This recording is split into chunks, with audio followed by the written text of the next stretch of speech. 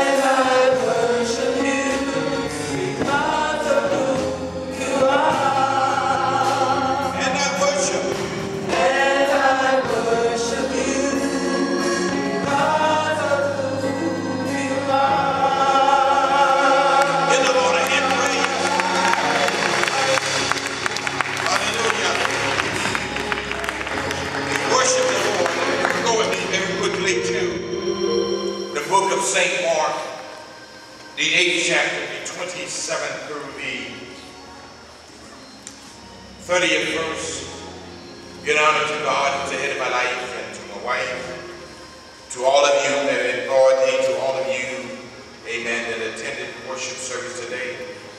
Yes. God is good and he's worthy to be praised. Amen. It's good to see Heather Miller. Yes. Amen. Here. And he talked about the potter's house. Mark the eighth chapter,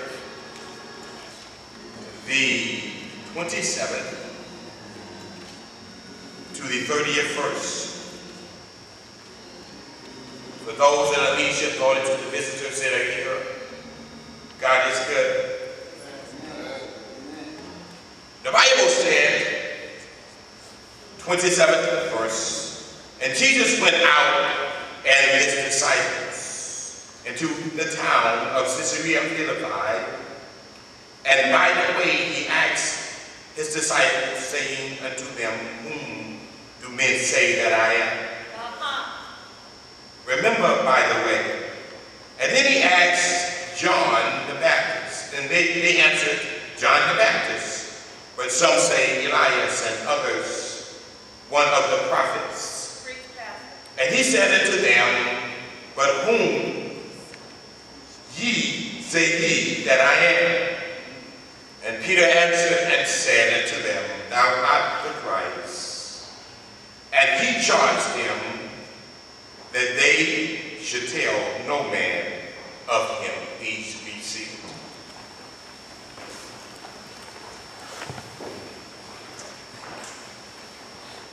I would like to leave a thought with you today. My identity.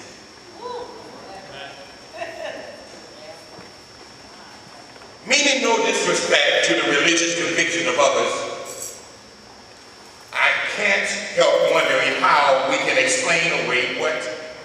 to me is the greatest miracle of all, yeah. and which is recorded in history. No one denies there was such a man that lived and that he was put to death by crucifixion.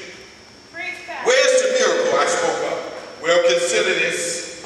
Let your imagination translate the story into your own time. Well. Possibly your own home or your own town. Yeah. A young man father is a carpenter grows up working with his fathers in the shop. One day he put his tools down and and, and, and, began to walk out his father's shop. He began to preach on street corners and nearby countrysides, walking from place to place, preaching all the while, even though he was an ordained minister, he does this for three years. Then he is arrested, tried, and convicted. There's no one court, there was only one court appeal, appeal so he was executed at the age of 33. Well. along with two common thieves. Well. Those in charge of his execution rolled dice to see who guessed his clothing. Uh-huh. The only possessions he had. His family, his family could not afford a proper burial for him, so he was entombed in a tomb that was borrowed. In the story, that's a rhetorical statement. But yet it's a question. Woo! No, this uneducated, poverty-less young man who left no written word has for 2,000 years had a greater effect on the world than all the rulers, kings, emperors, and all conquerors, generals of admirals, all the scholars, the scientists, philosophers who have ever lived, all them put together, he had more effect on them how do you explain that unless he really was who he said he was? Ronald Reagan. I remember some time ago my wife and I had a good experience, probably one of the most greatest experiences of my life. I didn't know at the time, I, I, I was doing the work of the Lord, but I didn't understand that this, may, this experience may impact me the way it did. Some time ago, when we were stationed in Germany years ago, uh, we developed some ministry teams. And our ministry teams, we were, we were witnesses and we were witness in the refugee camp. Yeah. Those people that were displaced. And those people that was a product of their environment unwillingness, so they had to leave their country. Just because a person doesn't have what you have doesn't mean they're not capable of getting there. It means that their environment was such that they had to get out and they had to start all over. I've learned not to condemn a person, not to judge a person for what they have. Because what they have, amen, they're probably grateful for what they have. And what you have, you're probably struggling with to keep it.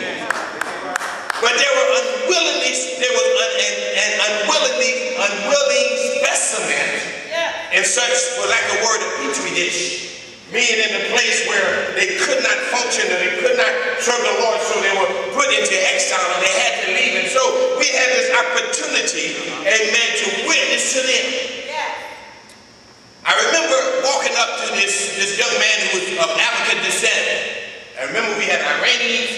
Have Iraqis and other people that were in this camp coming from, and Turkish coming from different countries and, and, and I just happened to knock on amen, a door that someplace they only had tents. And I would knock on the person's door and I say, I want to tell you about Jesus. And then when he, when he, when, when he looked at me and he looked at me, he said, he said, what about him? And, and, and, and I already had myself prepared. I studied. They gave us these tracts to hand out and say, when a person talk to you about Jesus and when you witness him about Jesus, these are the things you should say. he should take them down the Roman road of salvation. And it was like step by step. But they never told me when he asked me, what about him? What should I respond with when they said, what about the person that you're talking to? Then I, I wasn't prepared for that, even though I was saved, sanctified, filled with the Holy Ghost, speaking in tongues, and the Spirit of God gives me utterance, because he asked such a question that challenged my identity. Now you say, well, how did it challenge your identity? One, I knew what the Bible said about Jesus. I know who everybody else said about Jesus and who he was. Amen. But I, I had to develop some type of identity of who he is to me within myself. And so when he asked me that question, he was really asking me about my identity. When he said, what about Jesus? Well. He was saying, why are you so, why are you so driven to tell me about a man that I've never heard about before? Tell me what makes you come knock on my door and tell me about this man that I never, I haven't even seen a Bible. My religion, my religion is something else. I have a conviction of another religion and you're going to knock on my door and tell me about someone that I don't even know what drives you to do this. I recognize that when I was sharing with him about Jesus, it really wasn't too much about him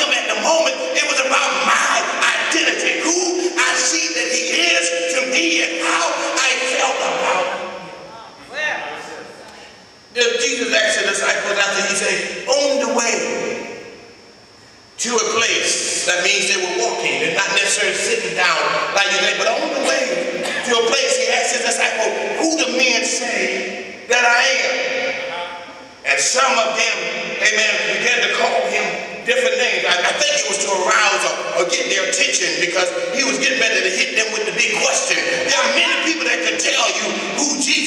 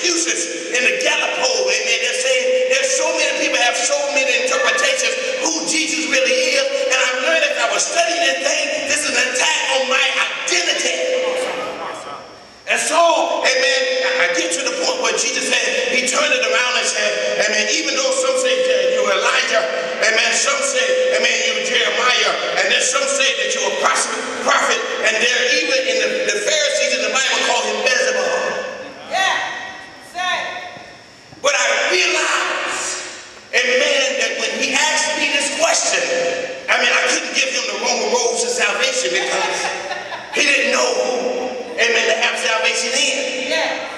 I couldn't, amen, break it down for John 3 and 16 just at the moment because he was challenging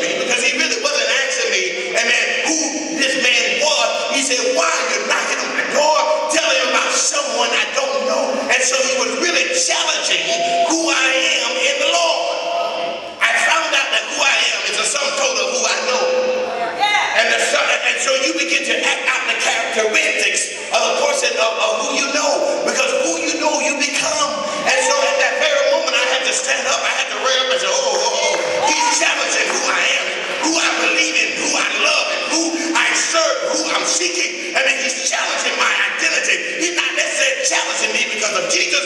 When you heard that, you said, man, that's an insult for him to say, who is this man that you're talking about? To you, that's an insult, but to others, they don't know. Paul said to some people, amen, we're the Bible to them. The Bible said we're a living epistle of men. People look at us and when they see us, they see Christ on the inside of us. They read us like a Bible. And when they see you and when you're not acting right, and amen, you're preposterous. Amen, you, you, you understand what I'm saying? You're not doing, you're not, you're not, you're not using your identity. Amen. Satan will steal your identity. He will sabotage I read an article in the, in the internet where, amen, they say that people were saying, I don't here on this earth. And they were talking about to the point they committed suicide. And then another person said, you know what, I cannot figure why I was born into the earth. They were having an identity problem. And sometimes when you have an identity problem, it doesn't mean there's something that's a disorder. It just means that you're dealing with so many issues that you cannot, amen, you cannot differentiate between what's the Lord and what's not God. Let me get back to the story. And so that he challenged me and that changed my life. Yeah. I can't give him just a Roman road of salvation. I just can't give him Mark 11, 22. I just can't give him all of these scriptures unless I can share with him the conviction that's on the inside of me. There are people that deal with identity that, that, that will steal your identity. This is when identity you want them to steal. And And so you wanted, I wanted him to pick up my identity because my identity represents Christ.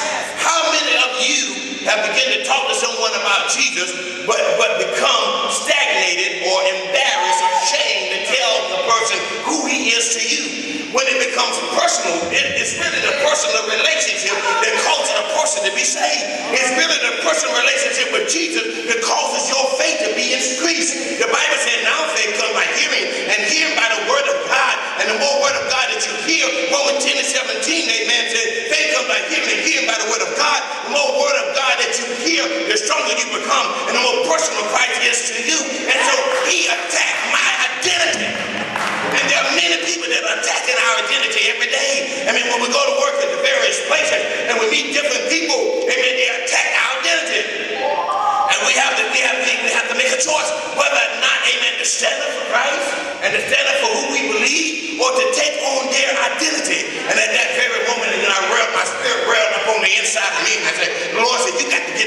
it son. He's not hearing about Jesus. He won't know what, he's not wanting to hear about Jesus right now. He want to hear why you knocking on his door, telling about somebody that you haven't heard of. And then and the Bible, the Lord spoke to me and I began to witness to him and I began to tell him and to testify how good God has been to me. And I hadn't always been saved. I hadn't always served the Lord. I hadn't always prayed.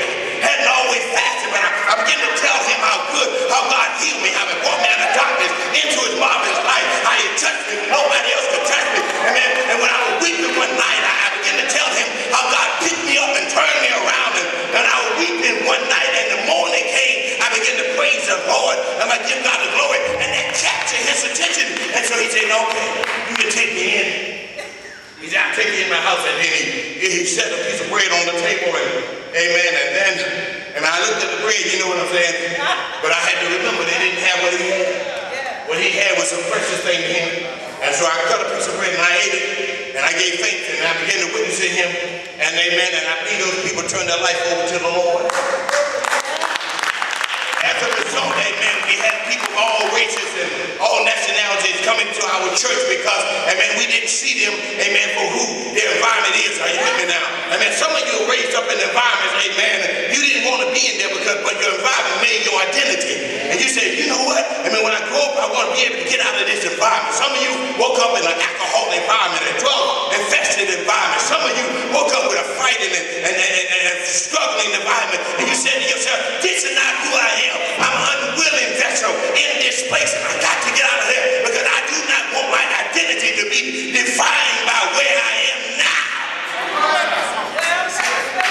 I read an article, amen, amen, that says that if you want to change your identity, the first thing you got to do to change your identity, you got to go to the police department you got to tell them the reason why you want to change your identity. And then because you had to be under such great danger, I want you to guess this. And I had to recognize that if I didn't, amen, get with the Lord, I'm going to be in a danger of damnation. And I'm not going to make it to heaven like people say. And so I, it was in danger, so I had to turn around. I had to change my name from Larry, amen, to Saint. Are you with me now? Amen, from stealer. Are you with me now? From person that steals, from a person that didn't do the things of the Lord. To change my identity. Somebody, amen, that served the Lord. So when they, when I walked down the street, they didn't see the old Larry, the hard-headed fella. Amen, didn't always do things right. He stood on the corner that fought everybody, got everybody business. But now when I walk down the street, they say, man, that's not Larry as you know it. Amen, but now he's a child of God. He's a, he's, he's a child, he served God.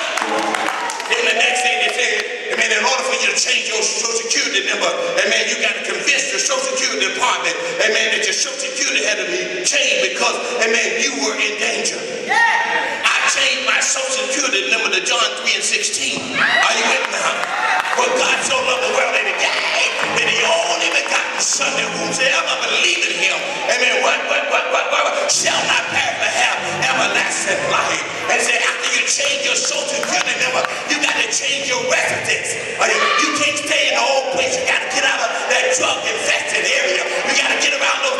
to the club and, and not serving the Lord. You got to get away from those negative people. You got to change your residency. I mean, wherever you live, you can't live there anymore. Amen. Praise the name of the Lord. And so, the, and so this is what I did in order to change my residence. The Bible said, Amen. In Romans, the Romans said, if you confess the Lord Jesus and believe in your heart, I mean, I had to change how I believe. My heart can no longer reside in the place place, amen, where I was now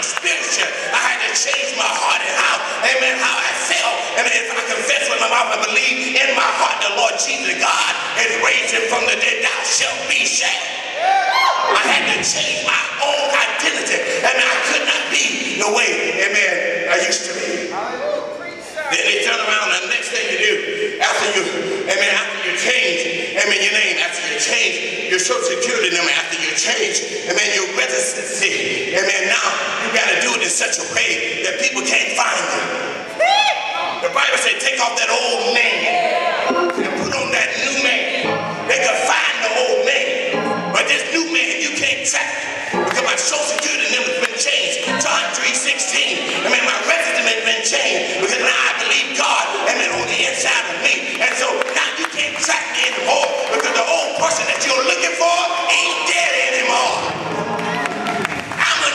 person in Christ. He's what? Lord of Lords. He's a King of Kings. He's a what? The wheel in the middle of the world. Wheel. So I had to understand. Some people deal with self-esteem. From a hotel attendant. Some people deal with self yeah, I got a roll. So, some people deal, amen, with self-esteem. Amen. I had to figure this out. And the Lord said me, say something today that let the people know that even though they're dealing with the, the skeptics, amen, to know that they, they, they, they got to really know first, know Christ. I'm going to give you some things to tell you who Christ was. I know Ronald Reagan did a magnificent job. Amen. But I want you to get it according to the scripture. In Genesis 12, along with Matthew 1 and 1, said he's a descendant of Abraham. In Genesis 17, along with Luke 3 and 34, said he's a descendant of Isaac. Numbers 24 and 17, along with Matthew 1 and 2, say he's a descendant of Jacob. Genesis 49 and 10, along with Luke 33 and 33, said he's from the tribe of Judah.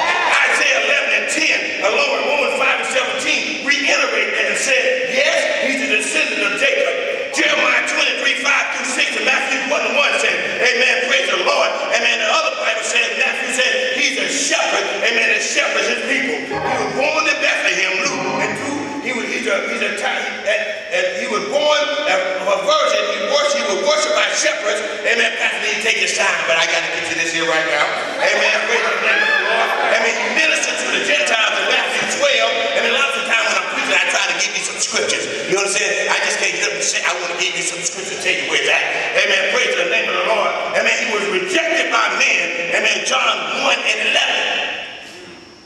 Then I said, okay, God, you are dealing with me on who Jesus is. Now, I need for you to work on me. Yeah. Because I know who he is. But because, amen, sometimes we deal with low self-esteem. We begin to judge people. Yeah. Amen, praise the Lord, by who they are. Never compare yourself with a person. Right. You have your own identity in the Lord. You can't be where that person is. And quite naturally, you do not want to be where that person is. That person have their own struggle that they deal with. And when you compare yourself with a person, amen, you may be comparing yourself with something false. Yeah. They may not be the person that they, you think that they are. Right. All you have to do is do the very best you can. Amen. That those that were displaced and that they were, they were in the refugee camp, they made a good thing out of bad condition. You got to work yourself. And so when Jesus asked, Amen, Peter, he asked the disciples, who the men, who do you say that I am? The Lord took me here. He said in John 1 and 12, I'm a child of God. John 15, 1 through 6. I'm the branch of the true vine Yeah. and the conduit of Christ's life. Well. John 15 and 15. I am a friend of God. Romans 3 and 24. I have been justified and redeemed by Christ. Romans 6 and 6. My old self was crucified with Christ, and I am no longer a slave to sin. That's who I really am. That is really my identity. I will not be condemned, amen, by God. Romans 8 and 1. I've been set free from the sin of death. Yeah. Romans 8 and 2. That's who I really am. I'm a child of God, and I'm a fellow, and, and I fellowship with Christ, and I'm joint heir with Christ. Yeah. Romans 8 and 17. I have accepted Christ to be my Savior. Romans 15 and 7. I have been called a saint, not a sinner anymore. Colossians 1 and 2, Philippians 1 and 1, 1 Corinthians 1 and 2. Amen. You're going to have to get the tape. Amen. Amen. For this reason, I serve God. My body is a temple of the Holy Spirit who dwells in me. 1 Corinthians 6 and 19. I tell you who I am. I know who Jesus is, but now you're challenging my identity. Amen. God leads me in, tri- in triumph and the knowledge of Christ. 2 Corinthians 2 and 14. The hardening of my mind has been removed. Now I serve the Lord. I'm not sinning anymore. 2 Corinthians 3 and 14. I am a new creature in Christ. Old things have passed away. Behold, all things become new. 2 Corinthians 5 and 17. When you see me in the workplace, when you see me in the commissary, when you see me in Walmart, you know the place you frequently. When you see me at the mall, should be in mall, you shouldn't be in church, and, when you see me there, and when you see me in those places, amen, amen, I'm the righteousness of God. 2 Corinthians 5 and 21. I have been made one with all who are in Christ Jesus. Galatians 3 and 28. I am no longer a slave, but a child of Christ. Amen. Galatians 4 and 7. I have, I, I have been set free by Christ. Galatians 5 and 1. Amen. Praise the name of the Lord. Ephesians 1 and 3 says, Amen. I have been blessed with every spiritual blessing in heavenly places. He said, I am chosen, holy, holy, and holy and blameless before God. Amen. Praise the name of the Lord. Ephesians 1 and 3. I am redeemed and forgiven by the grace of Christ. Ephesians 1 and 7. I know I'm giving you a lot of stuff. Amen. But it's about our identity. It's who we really are in Christ. Amen. Ephesians 1 and 11 says, I've been predestinated by God to obtain inheritance. Amen. I have been sealed with the Holy Ghost and his promises. Ephesians 1 and 13. Because God's mercy I love, I have been made alive in Christ. Ephesians 2, 4 through 5. I'm seated in heavenly places in Christ Jesus. Ephesians 2 and 6. I'm a God, I God's workmanship, created to produce good works. Ephesians 2 and 10. I've been bought, amen, near the, I have been bought with a price by the blood of Jesus Christ. Ephesians 2 and 13. I am a member of Christ's body and particularly his promises. Ephesians 5 and 30. I have the boldness and the confidence to access God through faith in Christ. I'm strong. Amen. Ephesians 3 and 12. Myself, I, my new self-righteous and holiness. I have a new self-righteous and new holiness. Amen. Ephesians 4 and 24. I was formerly in darkness. But now I'm in the light of the Lord. I have a new life. Amen. Ephesians 5 and 8. I'm a citizen of heaven. Philippians 3 and 20. Amen. The peace of God guards my heart and my mind. Philippians 4 and 7. God shall supply all of my needs according to his riches and glory. Amen. Philippians 4 and 19. I've been made complete in Christ. Colossians 2 and 10. I Christ. Colossians 3 and 1. My life is hidden in Christ Jesus. Amen. Colossians 3 and 20. 3 and 3. Christ is my life and I will be revealed with his glory. Colossians 3 and 4. I have been chosen by God. I am holy and I belong to the Lord. Colossians 3 and